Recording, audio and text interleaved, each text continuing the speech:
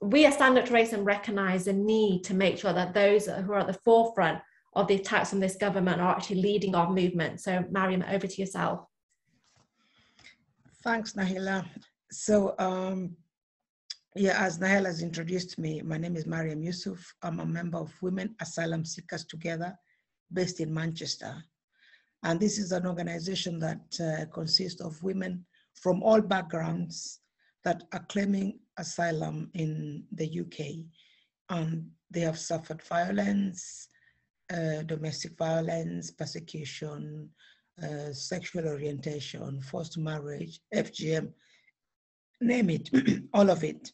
So we, we come together to support one another, first of all, because uh, in our organization we have women who have lost confidence in themselves and confidence in the system and confidence around them because they don't feel that they fit, although they are suffering uh, what they're trying to rebuild their their confidence back, but they don't get that real help around. So in our organization, we we offer a safe space where they can come and express themselves and befriend one another. And through that, they build their confidence where they're able to go out and share their stories uh, so that they raise awareness and the public and organizations hear what they are talking about and what they're going through. Uh, and why we do that mostly because of the negative narrative that the media portrays about people seeking asylum in the country. And that in itself really uh, makes it very difficult for uh, people like us to mingle in the community wherever we go, whether it's in schools or in colleges, at the GPs, in the supermarket. We face that kind of racism.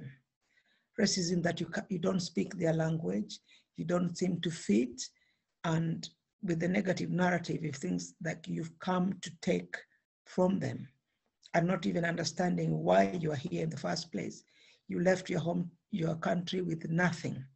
We can see life now that is happening in Ukraine, where mothers are forced to carry just a small suitcase with their children. They've left everything behind. That's what happened to other of the women also in my organization. You leave everything from a lovely house, all of a sudden, the next minute, you have nothing. And if people can't understand that and they see happening in Ukraine, I don't know what they will believe.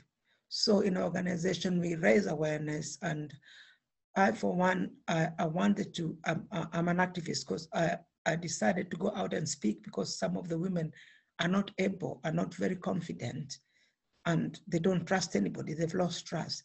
So it's it takes somebody, you know, brave to go and speak out there and raise awareness. And in my speaking out, it has helped other women come out also to go share their stories because we believe we are expert by experience. When we share a story firsthand, people believe because we live, we lived it.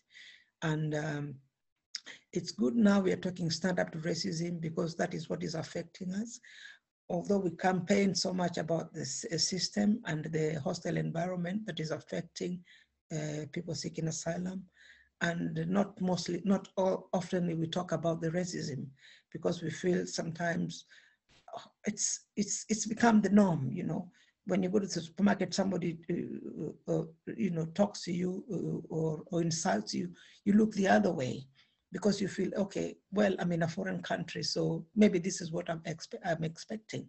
So they make it a normality and they don't talk about it. But now as we, uh, we're having these talks, I think it's something very useful that women can go out there and you know start sharing their stories and say, actually, I am facing this racism, but I haven't spoken about it. So in a nutshell, um, it's something very nice and I I would like my organization to work with the stand-up racism because this is what we should tackle among, uh, um, alongside the hostile environment that we are uh, encountering. Thank you.